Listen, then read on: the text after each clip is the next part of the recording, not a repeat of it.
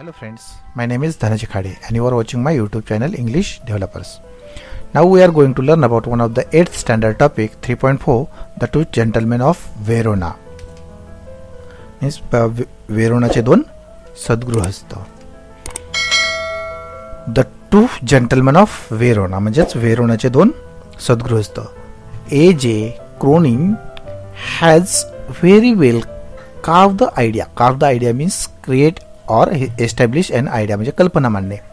Of selfless help and explain the importance of dedication towards relationships in the story the two gentleman of Verona A J Cronin यांनी वेरोनाचे दोन सद्गृहस्थ या कथेतून निस्वार्थी मदतीची कल्पना अतिशय उत्तम प्रकारे मांडली आहे. आणि त्याबरोबरच नात्याप्रती असलेली निष्ठा व केलेले समर्पण यांचे महत्त्व अ- अद्भुत किंवा अद्भुत केले आहे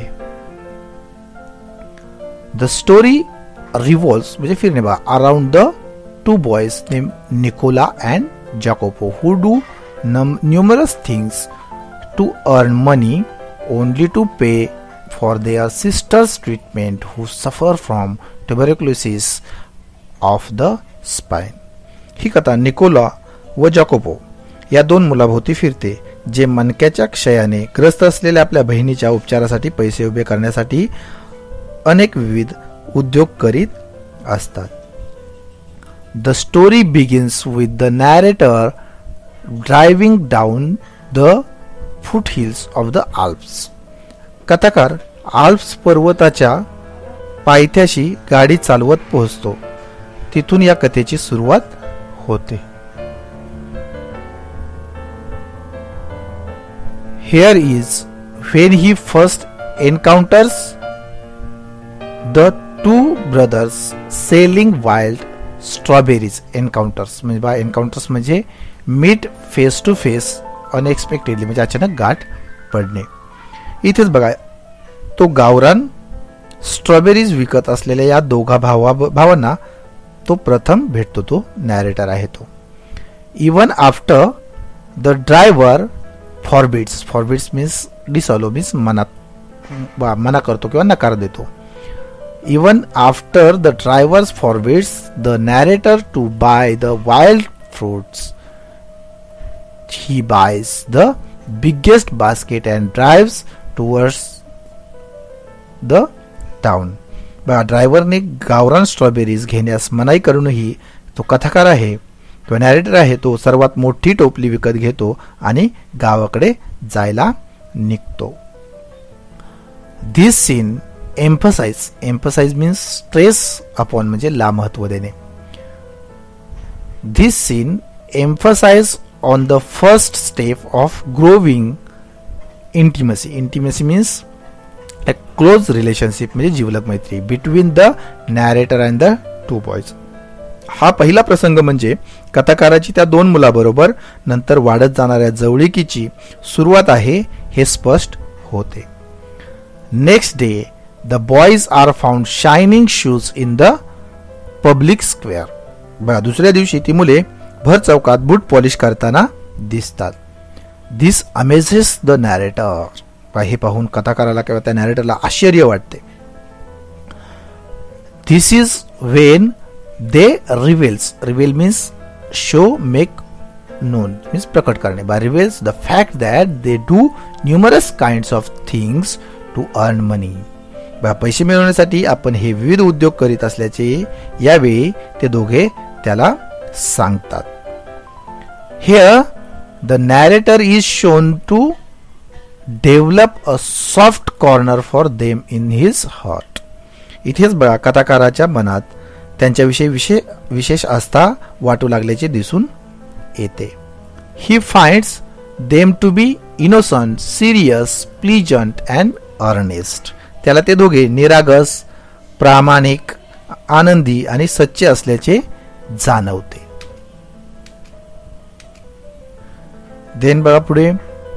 The boy the boys are very useful to the narrator या मुलांचा कथाकाराला खूप उपयोग होतो. They are very willing to satisfy all that the narrator request त्याला किंवा त्या नॅरेटला हवी असणारी प्रत्येक गोष्ट करायला ते दोघे आनंदाने तयार असतात. They are also found selling newspaper by the narrator on stormy night एका वादळी रात्री कथाकाराला ते वर्तमानपत्रे विकताना सुद्धा दिसतात. One day when the narrator asks if he can help them in any they say they will be very grateful if they got a lift to the nearby by village Poleta बघा एके दिवशी कथाकार त्यांना कुठली मदत हवी आहे का असे विचारतो. त्यावर ते म्हणतात की त्यांना जवळच्या पोलेटा गावापर्यंत त्याने पोहोचवले तर फार बरे होईल. Although it doesn't come in the narrator's way he takes them there कथाकाराच्या वाटेवर ते गाव येत नव्हते तरी तो त्यांना तेथे घेऊन जातो. The boys get down in a building and ask the narrator to wait in nearby cafe until they return within an hour मुले एका इमारतीपाशी उतरतात आणि ते तासाभरात परत येईपर्यंत कथाकाराला जवळच्या कॅफेमध्ये थांबायला सांगतात. Eagerness leads the narrator to follow the boys up to a place which is actually a hospital कथाकाराची उत्सुकता हिगरनेस म्हणजे उत्सुकता त्याला त्या मुलांच्या मागोमाग त्या ठिकाणी घेऊन जाते. ऑन पीपिंग म्हणजे डोकावणे by peeping through a room led by a nurse he realized that boys are taking to a girl who resemble them. Resemble means having have similar appearance म्हणजे सारखा असणे. ते खरे म्हणजे एक हॉस्पिटल असते. एका नर्सने दाखवल्यानुसार एका खोलीमध्ये डोकावून पाहिल्यावर त्याच्या लक्षात येते की ते दोघे त्यांच्यासारख्याच दिसणाऱ्या एका मुलीशी बोलत असतात. He does not feel like introducing means introducing means introduce means come to a place where one is uninvited means uninvited sorry uninvited uninvited means आत घुसणे and thus ask the nurse the details about the boys न विचारता आत घुसणे त्याला योग्य वाटत नाही त्यामुळे तो नर्सला त्या मुलाबद्दल माहिती विचारतो this is when a nurse tell tells him their heart rending story heart rending means like a causing great sorrow म्हणजे हृदयद्रावक किंवा शोकपूर्ण अशी गोष्ट ते नर्स त्याला सांगते. About their father being kill in a war and their home being destroy in the war and their sister suffer from a tuberculosis nurse त्याला त्यांचे वडील युद्धात मारले गेल्याचे आणि त्यांचे घर युद्धात उद्ध्वस्त झाल्याचे आणि त्यांची भय त्यांची बहीण क्षयरोगाने आजारी असल्याची हृदयद्रावक कहाणी सांगते. The brothers live the brothers live in a shelter and literally starve only so that they can pay for their sister's treatment ते दोघे भाऊ एका आडोशाखाली राहत होते आणि आपल्या बहिणीच्या उपचाराचा खर्च करण्यासाठी स्वतः अक्षरशः म्हणजे उपाशी राहत होते. So keeping a secret and helping their sister they have shown that war has not shaken their spirit not shaken his not shaken their spirit म्हणजे not reduce eagerness to do something म्हणजे उमेद किंवा न खचलेले. बघा त्यामुळेच गुप्तता राखून आणि आपल्या बहिणीला मदत करीत त्यांनी युद्धामुळे आपली उमेद खचलेली नाही हे दाखवून दिले होते. They are noble and gentle and a great human beings in their own special at subtle way subtle means like a difficult to find out म्हणजे चटकन उमगणारा. ते दोघे अतिशय थोर आणि उमद्या मनाचे मनुष्य होते आणि त्यांचे कार्य विशेष असूनही ते स्वतः अगदी साधे होते. This story distinctly distinctly means like a clearly स्पष्टपणे talk or the talks about how true and amplifications means amplification means focus on the statement म्हणजे विस्तार किंवा विशेष. Says where there is will there is a way म्हणजे या कथेतून एक विचार प्रकर्षाने अधोरेखित होतो. तो म्हणजेच जिथे इच्छा असते तेथे मार्गही असतो. अशा प्रकारे ही स्टोरी आहे. आता आपण याचे मार्जिन क्वेश्चन बघूया.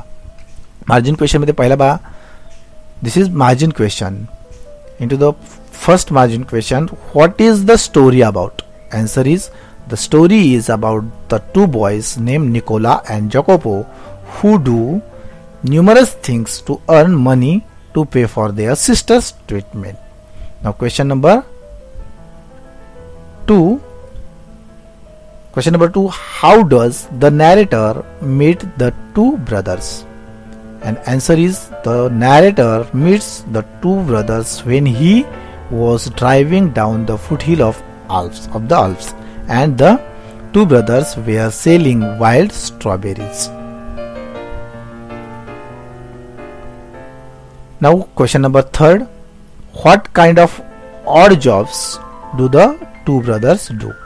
Answer is the two brothers do the following odd jobs. First, selling wild strawberries at the foothill of Alps. Second, shining shoes in the public square. Third, selling newspaper in the stormy night. Now, question number 4 How does the narrator help the two brothers one day? Answer One day, the boys wanted to go to the nearby village Poleta. They asked the narrator to give them a lift. Although it doesn't come in the narrator's way, he takes them there and help them.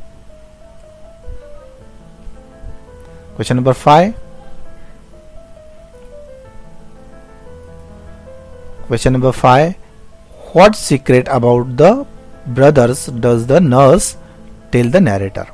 Answer is the nurse told the narrator about the heartrending story of the boys.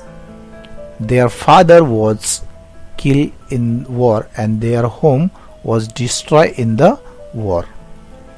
Their sister was suffering from tuberculosis. They live in a shelter and literally starve so that they could pay for their sister's treatment. 6. Explain the proverb where there is will, there is a way.